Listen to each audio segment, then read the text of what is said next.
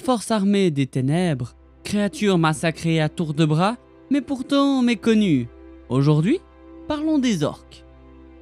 Avant de parler des différentes races d'orques, parlons un peu de leur histoire. Les orques ont été créés et élevés par Melkor, comme une moquerie au beau peuple qu'étaient les Eldar, quelque part dans le temps où les ténèbres recouvraient la terre du milieu. La façon dont cette espèce a été engendrée n'est pas vraiment claire, car le Seigneur des Ténèbres ne possédait pas le pouvoir de créer la vie, seulement de la corrompre. On ignore donc si des elfes, des hommes ou d'autres créatures corrompues ont été utilisés pour y parvenir. Les orques sont décrits comme étant en moyenne de plus petite taille que les hommes, forts mais avec une structure tordue et des jambes arquées. Un énorme chef orc était décrit comme étant presque de la taille d'un homme, mais certains devaient avoir une taille similaire à celle des hobbits par exemple. Frodon et Sam ont réussi à se déguiser en orc au Mordor par exemple. Leur apparence générale variait. Ils avaient de longs bras et des bouches crochues, mais Tolkien les décrit comme étant pâles, sombres ou maigres, bien que l'un d'eux au Mordor ait la peau noire, et que d'autres soient décrits comme étant noirs.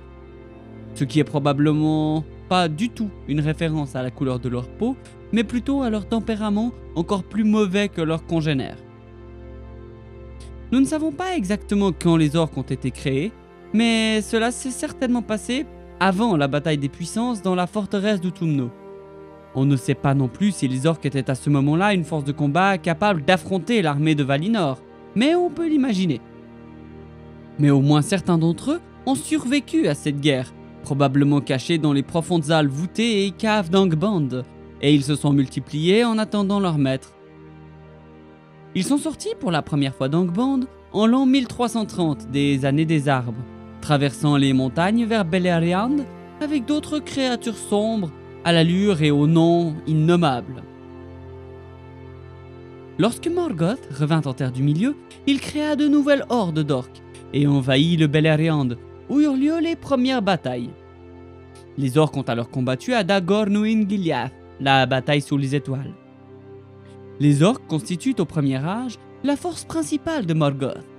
Des centaines et des milliers d'orques ont été élevés à Angband et déversés de ses portes pour participer aux batailles du Beleriand qui ont duré durant 587 ans. Les orques apparurent pour la première fois dans les écrits des elfes au premier âge, lors de la bataille de Lamoth, où ils furent vaincus par Fingolfin et Senoldor.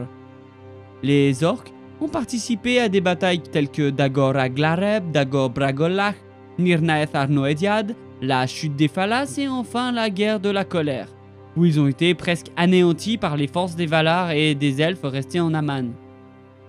Ceux qui ont survécu à la défaite ont fui vers l'est et se sont probablement cachés dans les montagnes d'Angmar ou vers Ered Mithrin. Vers l'an 1000 du deuxième âge, Sauron réapparaît, prend le Mordor pour royaume et commence la construction de Barad-dûr. Il est fort probable qu'à cette époque, la plupart de ses serviteurs étaient des orques, qu'il avait rassemblés sous son commandement, issus de diverses petites tribus à gauche à droite. Pendant longtemps encore, les immondes serviteurs de Sauron ne jouèrent pas un rôle important, car le Seigneur des Ténèbres avait choisi un moyen plus subtil de renverser les peuples libres en créant les anneaux de pouvoir dont j'ai déjà abondamment parlé. Au cours de la guerre entre les elfes et Sauron en 1700 du deuxième âge, les orques constituèrent la principale force de l'armée de Sauron. Malgré le nombre incommensurable d'orques, Sauron fut vaincu par les armées unies des elfes et des Núménoréens. Mais Sauron restait puissant à l'est des monts brumeux, et les orques qui habitaient les montagnes et les terres à l'est se multipliaient encore. Les orques des monts brumeux déclenchèrent une guerre contre les nains qui aboutit au premier sac de Gundabad et à son occupation par les orques, donc à une défaite des nains. Enfin, les orques constituèrent la force principale de Sauron pendant la guerre de la Dernière Alliance et participèrent à de grandes batailles telles que Dagorlad et le siège de Barad-dûr que vous connaissez maintenant par cœur, je n'en doute pas. Au cours du Troisième Âge, les orques étaient les troupes de base de Sauron, à la fois au Mordor et à Dol Guldur et de ses grands serviteurs comme le roi sorcier et de Saruman par exemple. Quoique Saruman soit à part, nous y reviendrons un peu après, Mais sachez que Saruman était globalement un double traître. Il a trahi autant les forces alliées de Foncombe et des elfes et des hommes que Sauron. À Angmar, les orques ont combattu pour le roi sorcier lors de la guerre d'Angmar et d'Arnor. Des années plus tard, ils ont envahi Ariador sous la direction du nécromancien. Les orques des Monts Brumeux, l'une des rares sociétés orques ou quelque chose s'en rapprochant plus ou moins, indépendante, et leur chef Azog ont déclenché la guerre des nains et des orques. Après leur défaite, ils se sont retirés dans leur sombre grotte. Ils réapparurent en l'an 2941 lors de la bataille des Cinq Armées, subissant une nouvelle fois une terrible défaite et une grosse claque de la part des nains. Pour mener à bien la guerre de Sauron contre le Rohan et ses propres efforts pour harceler la communauté de l'anneau, Saruman commença à rassembler ses propres orques dans une armée à Isengard. Et il les rassembla à partir des tribus des monts brumeux, ainsi que des orques qu'il éleva lui-même, certains étant croisés avec des humains, nous y reviendrons. Les orques d'Isengard combattirent dans les premières moyennes batailles de la guerre de l'anneau, comme la première et la deuxième bataille des guets de Lysen par exemple mais ils furent écrasés ou dispersés lors de la bataille du gouffre de Helm que vous connaissez par cœur, je n'en doute pas. Les orques du Mordor ont participé à des batailles majeures durant la guerre de l'anneau, comme la bataille des champs de Pelennor, mais la majorité des forces du Mordor ont été détruites ou dispersées à la bataille du Morannon devant la Porte Noire.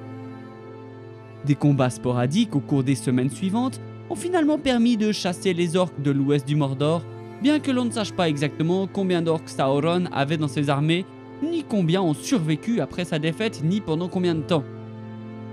Ça fait beaucoup d'inconnus. Les orques de Dol Guldur sont restés dans la forêt noire jusqu'à la chute de la forteresse, l'une des dernières batailles de la guerre de l'anneau. Le sort des orques après le troisième âge est très peu connu, voire même totalement inconnu. Bien que de nombreux orques de Sauron se soient battus et aient été tués dans les semaines qui ont suivi la bataille de Morannon, le nombre réel des armées de Sauron n'est pas connu, tout comme le nombre d'orques qui se trouvent pas au Mordor et qui pourraient encore habiter le reste de la Terre du Milieu dans l'Est et le Sud par exemple. On sait au moins que les orques de la Moria ont fui ou ont été tués au cours du quatrième âge, car il est mentionné que les nains ont réussi à reprendre la Moria et ses mines. Il est certain que tous ces orques étaient dépendants des différents seigneurs des ténèbres, je pense à Sauron et Morgoth évidemment, et peut-être au roi sorcier, de diverses manières. Après la guerre de la colère, les orques étaient confus et désemparés sans Morgoth et sans chef. Ils étaient facilement dispersés par leurs ennemis. Au cours des millénaires qui suivirent sa défaite et son bannissement d'Arda, ils étaient sans chef et dégénérèrent en petites tribus querelleuses se cachant dans des endroits sauvages comme les monts brumeux et les montagnes d'Angmar. Les orques demeuraient une menace pour les voyageurs évidemment et pour les colonies isolées, et lorsqu'ils étaient unis, ils pouvaient représenter une grande menace régionale pour de petites milices armées, voire même de petites armées, mais ils ne purent jamais atteindre la force qu'ils représentaient sous Morgoth. Ce n'est que lorsque Sauron est revenu au pouvoir qu'ils ont commencé à récupérer leur ancienne puissance, il en fut de même après la défaite de Sauron face à la dernière alliance des elfes et des hommes. Ce n'est que sous le commandement du roi sorcier, et lorsque Sauron revint en tant que nécromancien de la forêt noire, que les orques devinrent un réel danger pour toute la terre du milieu. Les orques étaient belliqueux et souvent cruels, se battant avec une férocité insouciante et se délectant du massacre et de la torture de leurs ennemis et même de leurs congénères. Beaucoup d'entre eux étaient cependant de nature lâche et étaient souvent considérés comme inférieurs aux soldats des hommes, des elfes et des nains, et beaucoup plus faciles à sacrifier évidemment. Il est dit que Sauron, à l'apogée de sa puissance, avait un contrôle sur les orques supérieur à Morgoth, bien que cela soit dû, je pense, au fait qu'il ne s'était pas encore épuisé à dominer les autres et euh, à créer en fait d'autres races de lui-même, ainsi qu'au fait euh, que ses adversaires représentaient une menace moindre que ceux de son prédécesseur, évidemment. Les orques se révélèrent également capables d'apprivoiser et de chevaucher des loups et même des wargs, une capacité que les seigneurs des ténèbres exploitèrent pour leurs armées évidemment, car ils étaient très faibles en cavalier. On ignore si les orques étaient immortels tout comme les elfes. Il y en a, toutefois, en un cas, une allusion à une longue durée de vie dans l'histoire de deux des plus célèbres chefs orques que vous connaissez, Azog et Bolg. Bolg était le fils d'Azog, Il était alors le chef des orques qui attaquèrent Erebor lors de la bataille des Cinq Armées en 2941, je parle de Bolg évidemment. Azog lui-même a été tué lors de la bataille d'Azanul Bizarre en 2799. Bolg avait donc au moins 150 ans. Maintenant qu'on a fini avec l'histoire des orques en général et de l'orque, on dira classique, parlons des différents types d'orques. La communauté de l'anneau a rencontré généralement les grands orques soldats élevés pour la guerre dont on vient de parler, et parfois la variété snaga. Un autre type, appelé les renifleurs, a été rencontré, et ils excellaient dans le pistage.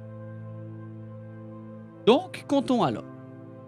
Les snagas, les renifleurs, dont on vient de parler, les demi-orques, les urukai et les hobgoblins.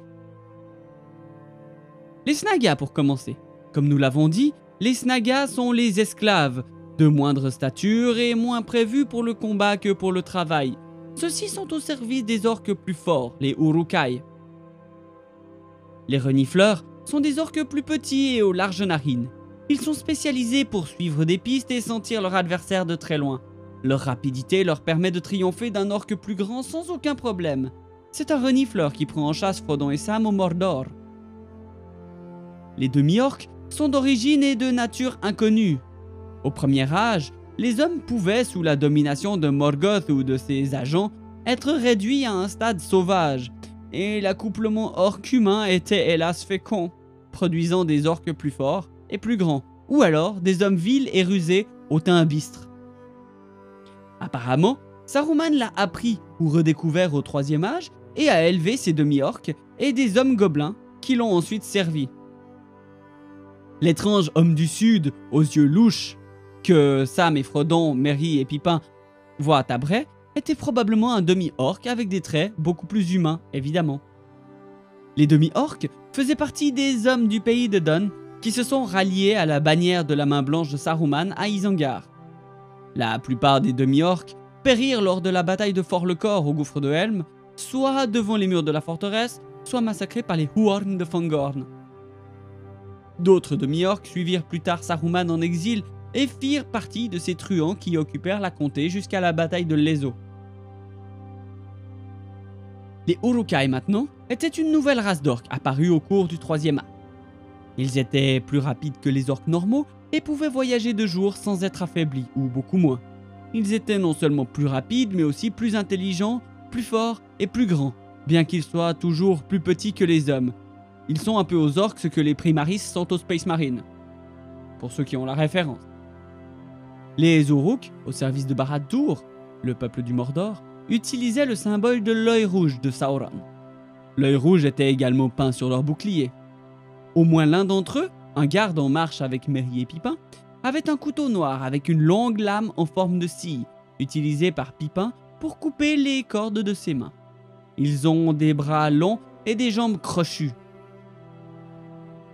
Les Uruk-hai de Saruman le Blanc utilisaient un S en rune forgée en métal blanc sur le devant de leur casque de fer.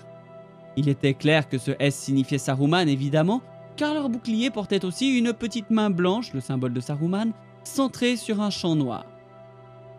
Aragorn a remarqué que leur équipement n'était pas du tout à la manière des autres orques. Au lieu de cimetères courbés et classiques, ils utilisaient des épées courtes à large lame. Leurs grands arcs étaient de bois d'if, de même longueur et de même façon que ceux des hommes de Minas Tirith. Bien qu'ils n'aimaient pas la lumière du soleil, ils la supportaient beaucoup mieux que les autres orques.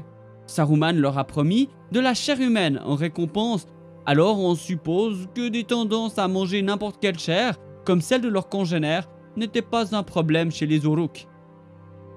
Silverbarb se demande même ouvertement s'il s'agit d'orques qui ont été en quelque sorte améliorés ou d'hommes qui ont été corrompus par des orques, par métissage, ou encore s'il s'agit d'un mélange d'hommes et d'orques, un acte que l'Inde considère comme un mal ténébreux des plus sombres.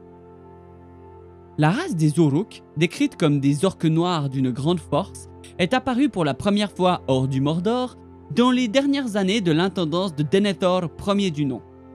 En l'an 2475 du Troisième Âge, ils ont conquis l'Ithilienne et détruit la cité d'Osgiliath, mais ils ont été vaincus par l'intendant Boromir par la suite.